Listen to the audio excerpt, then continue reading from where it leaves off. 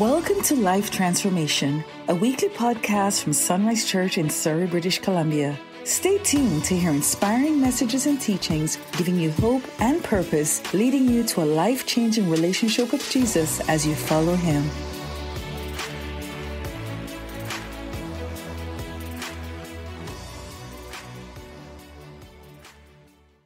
I'm really excited today because um, our special guest speaker, he's joining us uh, via video, Dr. Steve Brown, who is the president of Arrow Leadership. Uh, how many have heard of Arrow Leadership? Hands up, have you ever heard of them? Uh, they're an interdenominational leadership program that's in, I don't know, 25 countries, been going for 30 years. Um, both my wife and I had the privilege of being graduates from the Arrow Leadership program, and it's fantastic. So he has a sermon for us today called Four Questions at the Gate of a New Year. Four questions at the gate of a new year. Let me pray before we watch this today. Father, I pray our hearts will be open to the very things that Dr. Brown is going to bring us.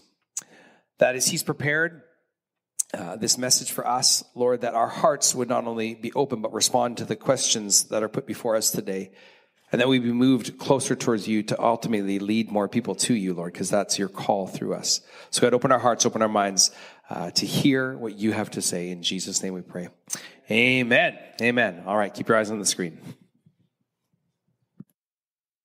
Sonrise Church, it is a joy and privilege to be with you today and to share this message with you. I so appreciate Pastor Chris and Sherry and their friendship and their example and uh, just the joy of being able to journey with them through the Arrow Leadership Program several years back.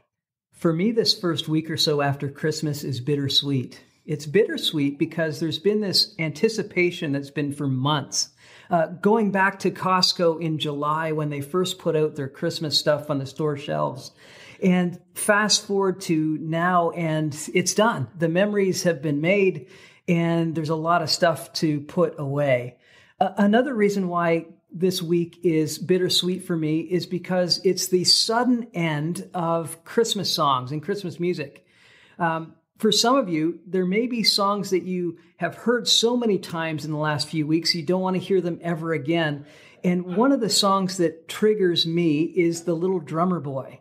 Uh, back in grade six, I was to take part in our Christmas assembly at my school. And in front of several hundred students, I was to stand up and do a duet with my friend Brad of The Little Drummer Boy. And I got up in front of my whole school and I got through the first line of the little drummer boy and everything went blank. I couldn't remember anything except Parumpa Pum Pum, which I did through the whole first verse, Parumpa Pum Pummed all the way through the first verse until Brad picked up the second verse. And it was a scarring moment for me. And every time I hear that song now, it brings back that memory. Maybe you have songs that you love and you're not going to hear them again maybe until next Christmas. One of the songs I love is O Come, O Come, Emmanuel. When you look at the words to that song, you see that the words are from a distressed people, a people who are uh, in despair, in darkness, crying out that Emmanuel, that God would be with them. And they rejoice with anticipation that God is coming to be in their midst. Well, in a world where there is currently still so much difficulty and distress and devastation in some places, and darkness and despair, Emmanuel, this truth that God is with us, isn't just good news, it's the best news we can get. We've been celebrating through this season that through Jesus, God is with us, not just 2,000 years ago, but that God is with us today, tomorrow, and to the very end of the age. Jesus is the game changer for you, for me, for our world. John Stott, a English pastor and theologian, shares a quote that I just love. He says that we may talk about Alexander the Great, or Charles the Great, or Napoleon the Great, but not Jesus the Great. Stott's quote says that Jesus is not the great. He is the only. He has no rival. He has no successor. And Jesus is the only. Jesus is the only way, the truth, and the life. Only Jesus is God in the flesh. Only Jesus conquered the sin and overcame the grave. Only through Jesus are you rescued and redeemed. Only through Jesus are you made truly alive and set free. Only in Jesus can you find deep contentment and full completion. Only in Jesus can you live with enough strength for today and enough courage for tomorrow. Only with Jesus is the real hope for miraculous change in us, in others, and in our world. Only with Jesus can you look toward an inheritance that will never perish, spoil, or fade. And only at the name of Jesus will every knee bow and every tongue confess that Jesus is Lord. After a year where many have faced chaos and challenge and complexity and change and conflict, there is still good news. And it's not good news about something, it's good news about someone, and that's Jesus. As we stand at the gate of a new year, I want to share with you four questions that I believe are going to point you toward Jesus. And they're questions that you may need today or further along in the year. The first question is this Where will your eyes be focused? As you look to a new year, where are your eyes going to focus? Two years ago, my wife Lee and I entered the gate of a new year with plans and hopes for a new year and a new decade. But within a few days of the new year, everything started to go sideways. Lee was doing a number of medical tests, and all those tests were pointing toward cancer, breast cancer. And if there's a word that starts with C besides COVID that can get your mind going in a million different directions, it's the word cancer. In Hebrews chapter 12, a metaphor of a race is used to describe life. We are to run with perseverance the race marked out for us, Hebrews 12, verse 1 says. And Lee and I found ourselves in the midst of COVID running a very challenging race, which seemed completely uphill as we journeyed through surgery and chemotherapy and radiation. It was a year, two years, we couldn't forget, we couldn't imagine. And I'm thrilled to share with you now that we've come through almost all of that by God's grace and the encouragement of a lot of people.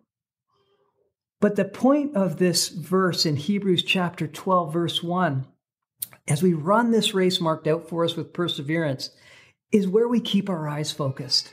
We're to keep our eyes focused on Jesus, the author and perfecter of our faith. Keeping your eyes focused on Jesus, whatever the circumstances is incredibly important.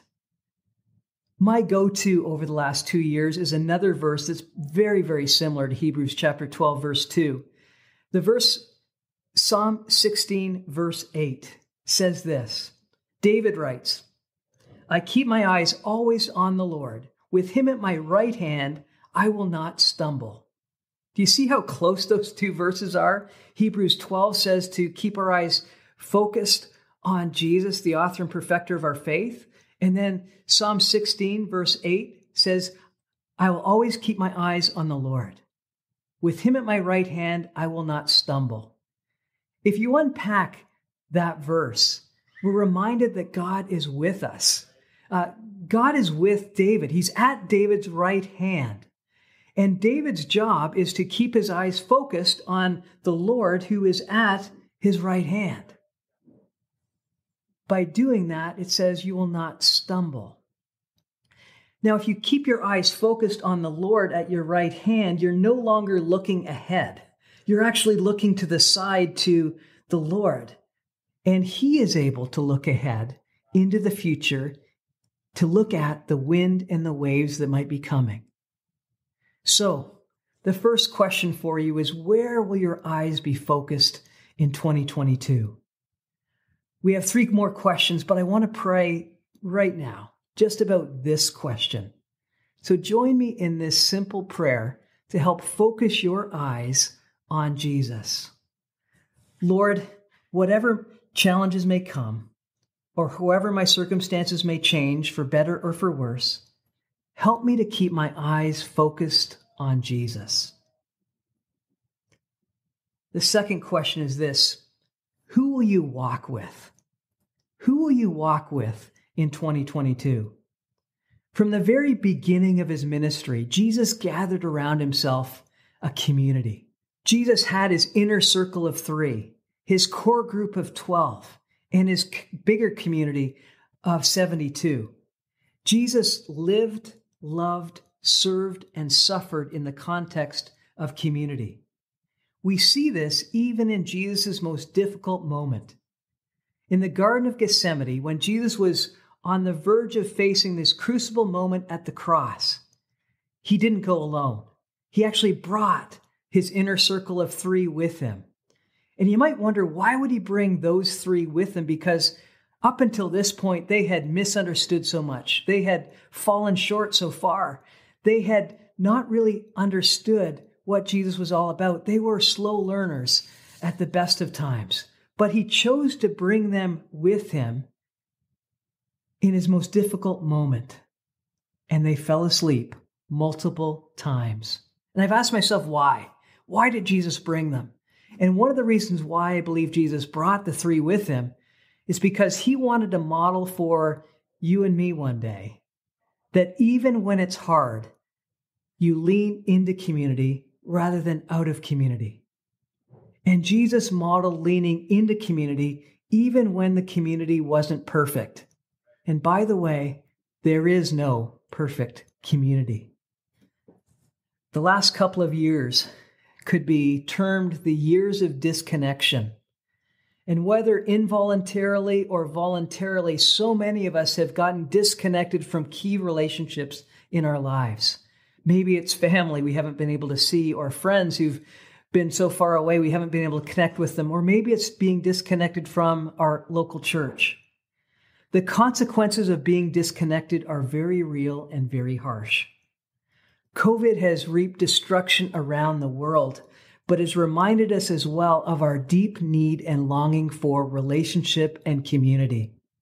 And following Jesus' example, we need to live, love, serve, and suffer in the context of community, even when the community is imperfect and no community is perfect. So, who do you need to lean into in 2022? Is it your local church? Is it to your family or extended family? Is it a, a Bible study or a mentoring group that you need to be part of?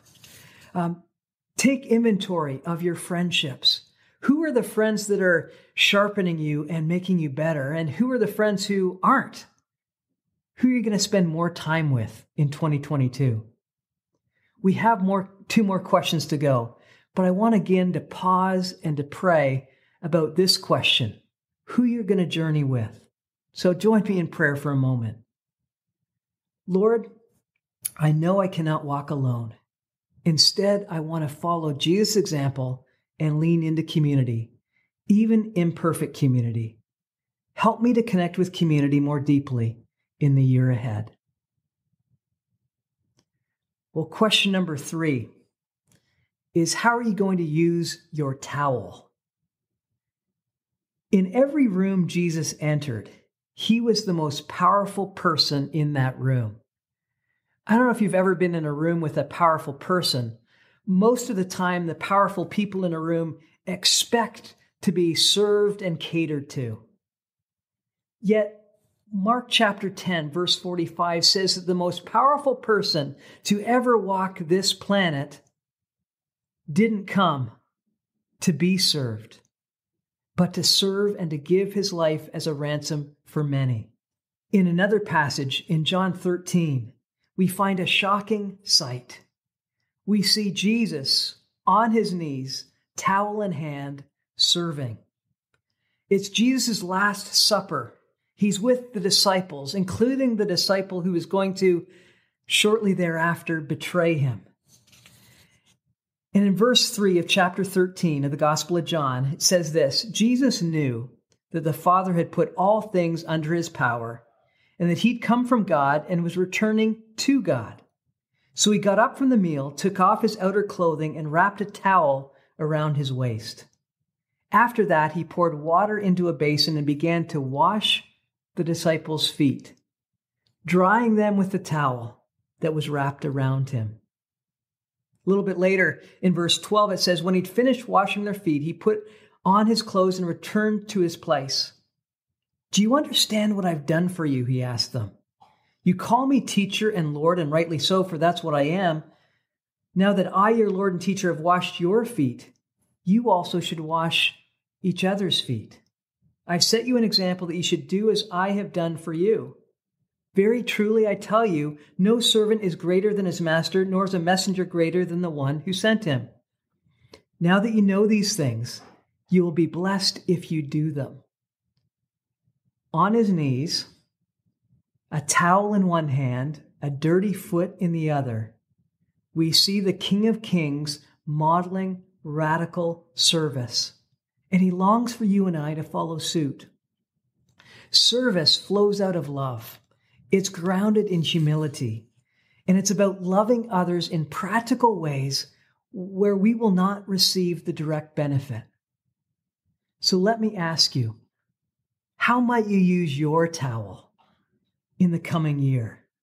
How could your towel or your service demonstrate God's love, humility, and service to your family, your extended family, your neighbors, the people you work alongside, the student next door to your locker, your local school, your local community, your church?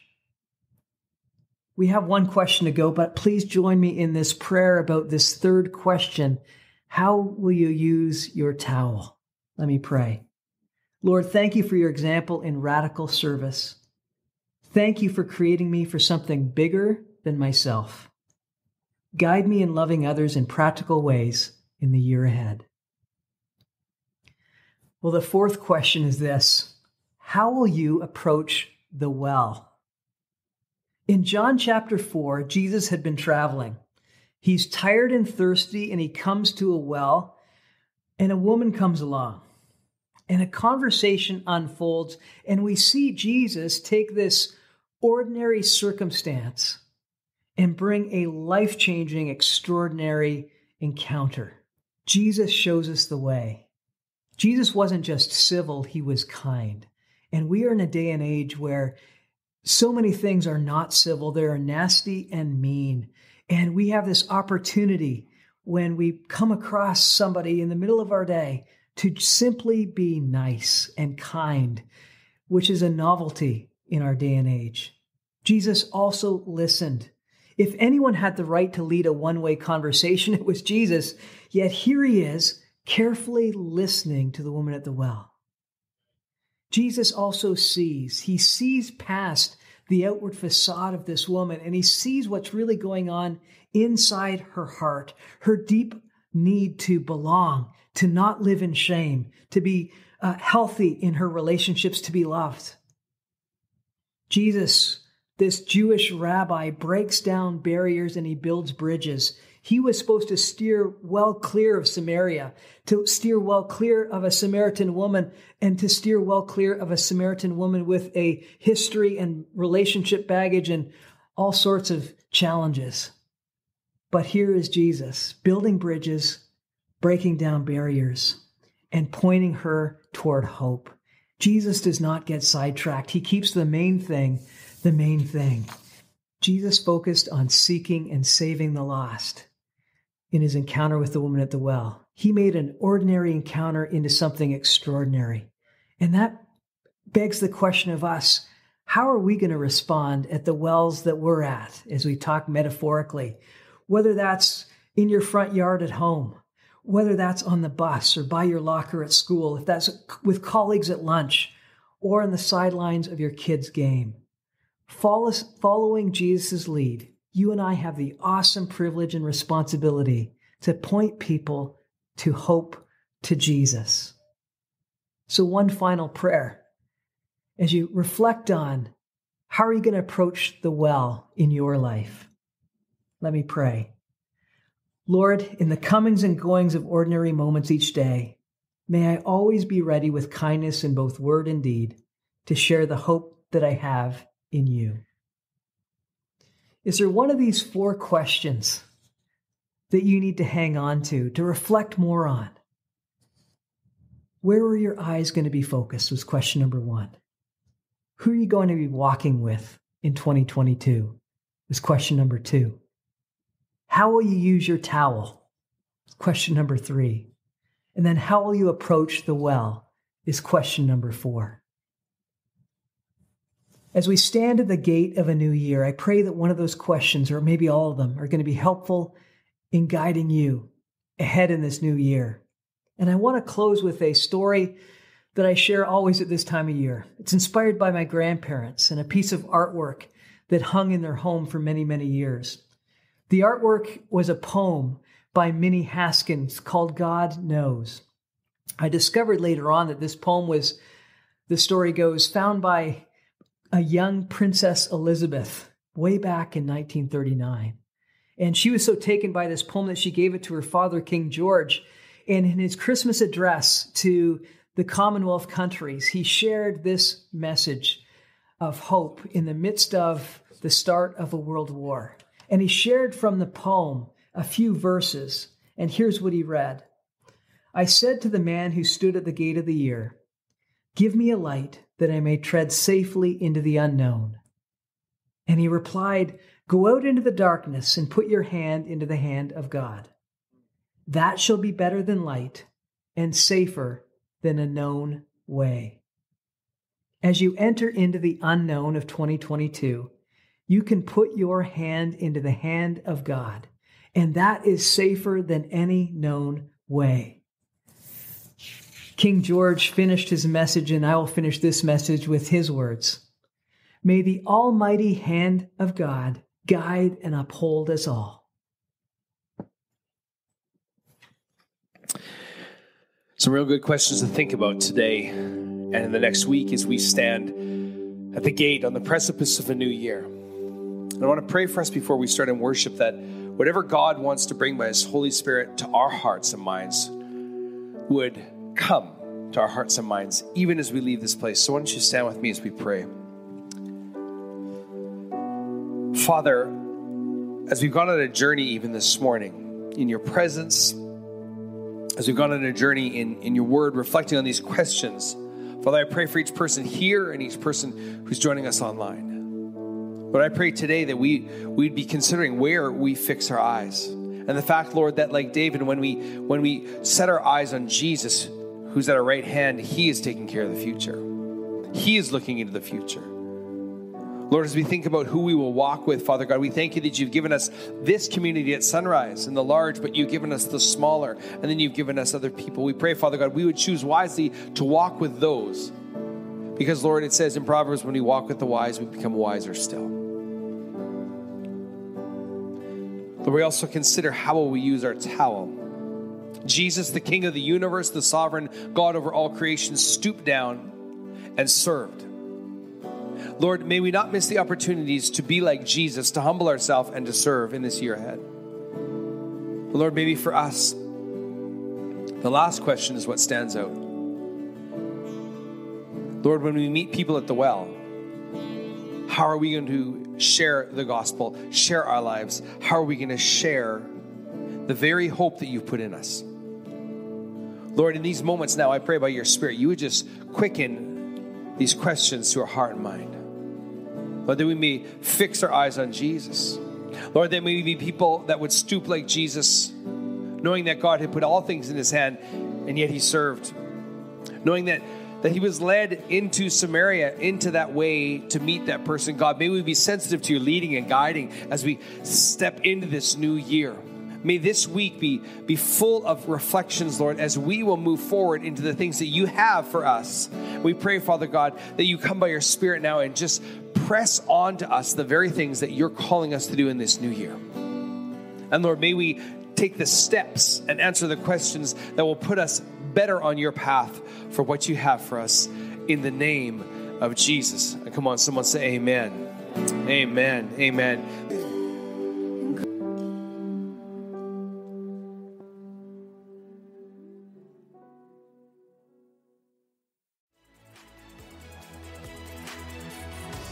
You've just been listening to Life Transformation, a weekly podcast of life changing messages giving you hope and purpose.